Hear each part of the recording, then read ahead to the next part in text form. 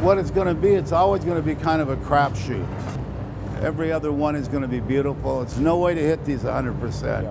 when you're working with this scale.